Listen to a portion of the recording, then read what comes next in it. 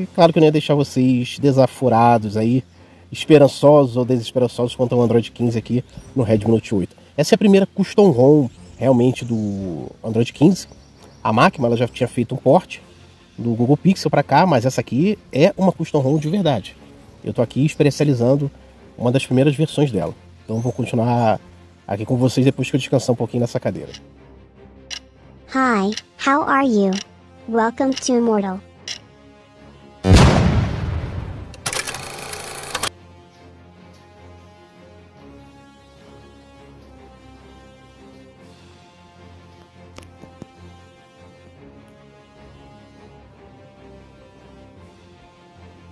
É, meus amigos, tô aqui com o Redmi Note 8.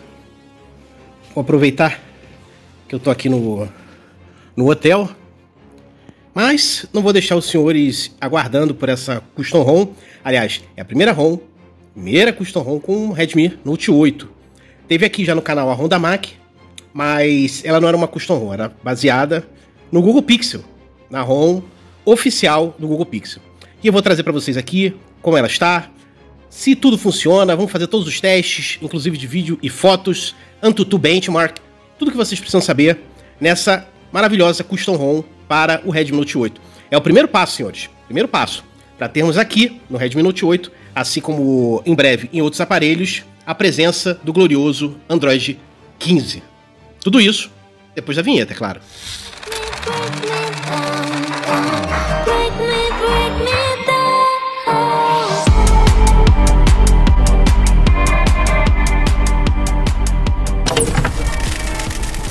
Tudo bom, meus amigos? Tô aqui com o Redmi Note 8.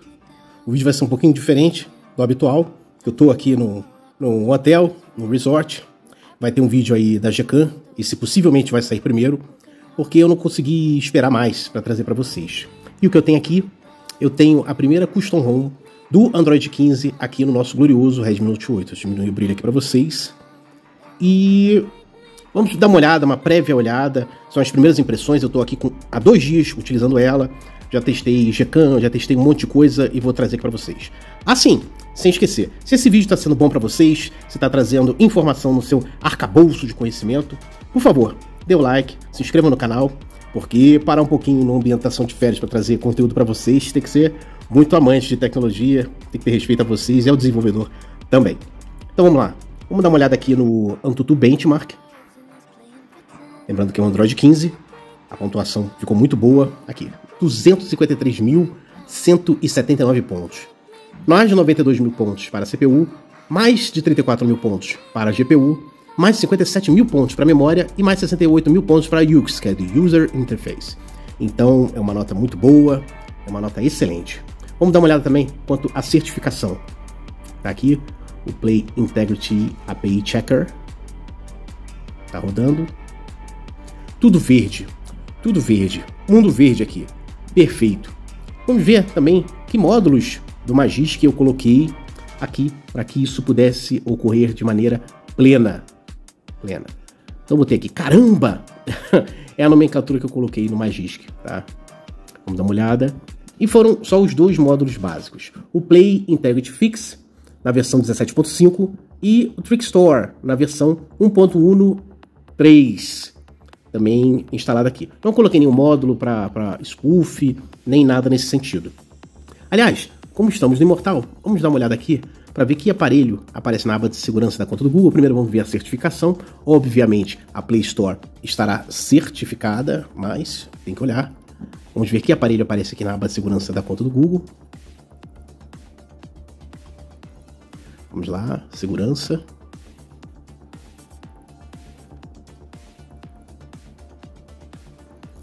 Já adianto que a notícia não é tão boa nem tão ruim. Mas como tudo mudou hoje em dia, eu vou falar um pouquinho sobre isso. Apareceu aqui Android. Imortal, mas aparecer Android na aba de segurança da conta do Google é algo ruim? Depende. Se fosse antigamente, eu ia dizer que isso é algo ruim. Mas hoje em dia, tudo mudou, senhores, tudo mudou. Então, aparecer Android não é mais um sinônimo de algo ruim ou que a ROM não é consistente na sua certificação. Eu acho que hoje em dia e é até fugindo um pouco do assunto de pauta do Android 15, mas hoje em dia aparecer os três verdinhos aqui na certificação é o mais importante. Apareceu isso aqui, O resto meio que deixa pra lá. Deixa pra lá. Só quer, quer ter uma, uma curiosidade? Se você porventura entrar na internet, entrar o browser ali, abrir o Chrome, por exemplo, e logar a sua conta do Google, vai aparecer Android. Isso não é ruim. É só uma característica. É como se não fosse um dispositivo, fosse um browser, fosse um, um meio pelo qual você está logando a sua conta do Google. Tá certo? Então, na minha humilde opinião, aparecer Android ali. Porém, aparecer os três verdinhos, ficou bom. Não é ruim, não. Não testei spoof aqui, até porque eu ainda não fiz um spoof do Android 15, irei fazê-lo. E assim que eu fizer, vou testar aqui nessa ROM e trago para vocês. Mas creio que irá mudar sim. Geralmente quando aparecer Android ali, muda facilmente com o spoof, pelo menos o Android 14 era assim. Então, quanto à certificação, está muito bom. Eu vou abrir aqui a GK 9.2 que eu instalei nesse dispositivo. Vou tirar uma foto, uma foto aqui da cama. Ó, até aproximei, mas eu nem tenho o intuito de aproximar não. Ó, botei a, a wide, a normal. Eu vou tirar foto aqui da normal, aqui da cama, vamos lá. Tirei. Tá gravando, gravou. Gravou numa boa. Vai aparecer aqui Redmi Note 8, como vocês estão vendo, Jink. Só tem uma coisa, eu tive que flechar no Orange Fox o, o fix para Gcam, que é o HDR da Gcam. Eu vou disponibilizar isso no grupo do Jink, muito embora já tenha lá, mas quando eu lançar o vídeo aqui dessa, dessa ROM, eu vou colocar lá no grupo do Redmi Note 8, tá certo? Então, uma vez flechando isso lá no Fox ou no TWRP, Fica numa boa, numa nice, você tirar foto. Vídeo, também da, da Gcam, funciona também numa boa. Tá? Vou colocar aqui, por exemplo. Testando o vídeo no Redmi Note 8, filmando a câmera do Hotel Resort. Testando o vídeo no Redmi Note 8, filmando a câmera do Hotel Resort. Testando o vídeo no Funcionou, funcionou, funcionou, funcionou, funcionou. Numa boa, numa nice. Então vocês viram. Senhores, Bluetooth também está funcionando. Eu, o meu fone está um pouco longe, mas eu acho que vocês acreditam em mim. Pode ter certeza que o Bluetooth está funcionando. Tá? Posso até ligar aqui para vocês verem.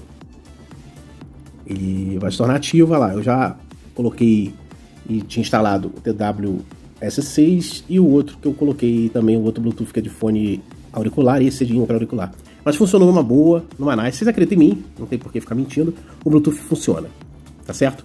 É, internet, o, a própria velocidade da internet e tal, aqui eu estou usando Wi-Fi, então não vou ficar nem testando a velocidade, porque vai dar uma velocidade média, média para baixo. Mas é por causa do Wi-Fi aqui que não é tão potente.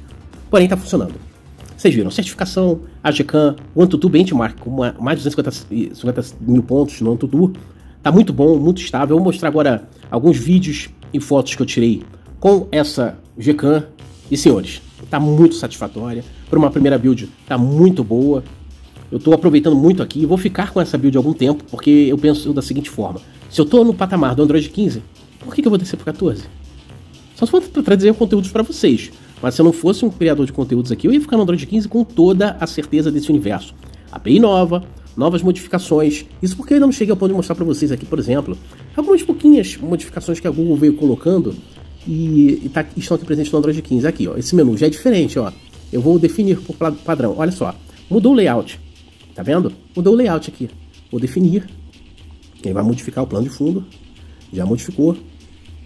E, e, isso sem levar em consideração a transição que está muito rápida, muito boa. Aliás, eu nem mostrei para vocês, né? Qual é a versão do Android 15 aqui, ó. Essa é a Blaze.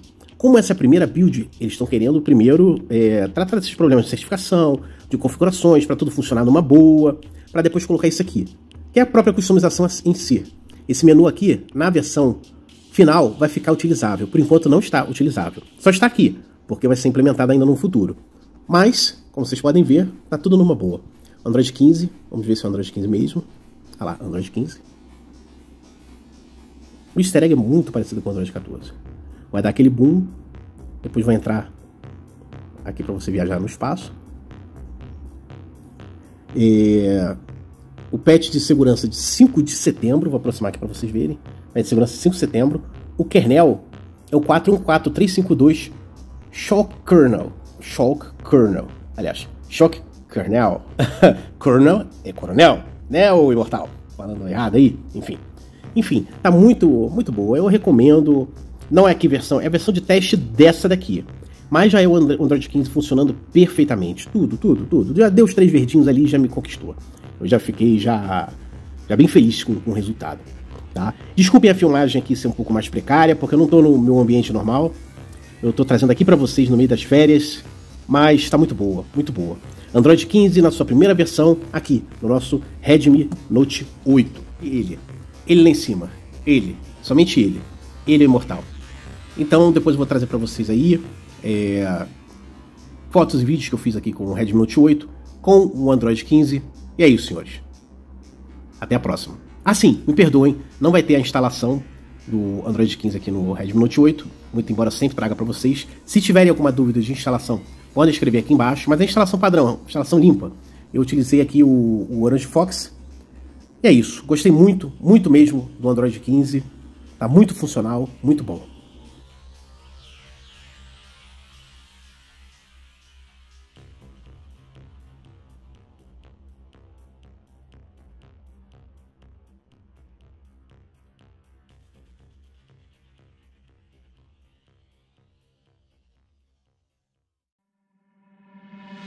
Break me down and make me weak again. After all, I called you my best friend. And I've been here, I know the story ends. With broken hearts and us playing pretend. Break me, break me down, down. Break me Thank you for watching the Immortal channel. That's all, folks.